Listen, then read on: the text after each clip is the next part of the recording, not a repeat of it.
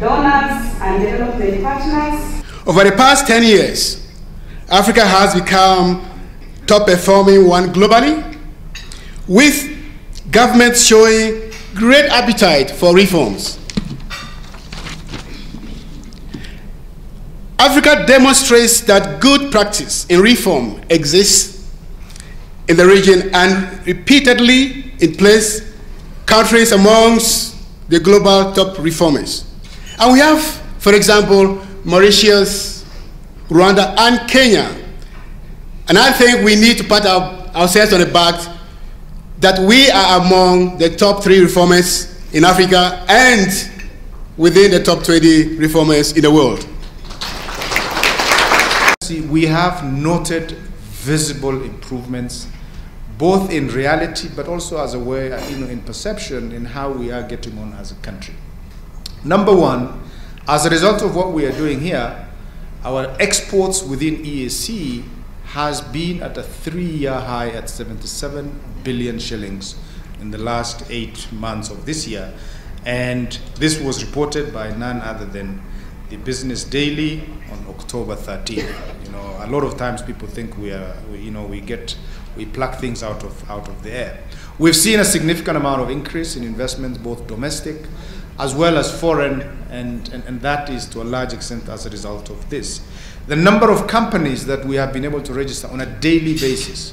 And as a result of the efficiencies that we have, there's been a lot of revenue for government that we've been able to, to, collect. We're very proud to work uh, with the World Bank in providing technical support. We've provided, uh I think it's almost 3 billion shillings, more than 3 billion shillings through the process. And there's nothing that a development partner likes to see more than progress. And we've seen it over the years, and you'll have to wait and see what the result is today. But, but we're very, very proud of the progress uh, that's been made so far, and that you may or may not hear about uh, shortly. Our investment attractiveness has never been higher. Our markets are expanding faster, and we can now count on the most talented and dynamic talent pool in our history.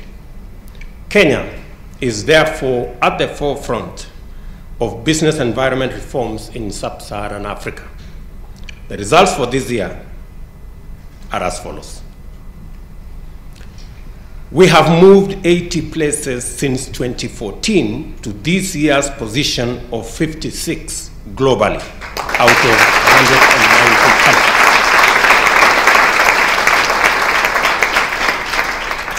We are up from position 61 last year cementing our steady performance and rewarding the hard work, the commitment, dedication, and collaboration between government, our development partners, and the private sector in the business climate agenda.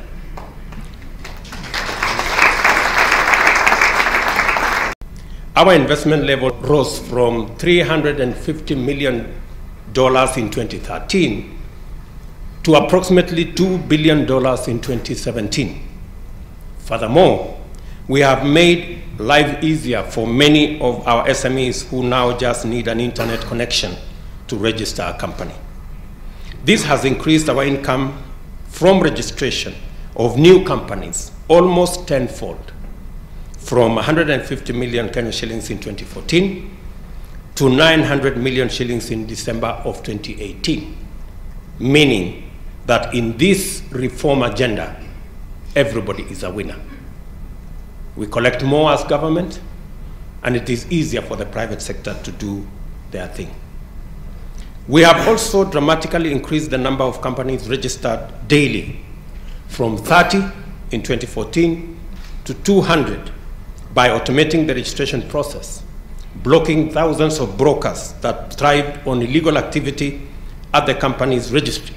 As you've heard from Mwendwa, there was a huge army of brokers around the registration of companies building that were collecting illegal levies from this or that in moving this paper or the other.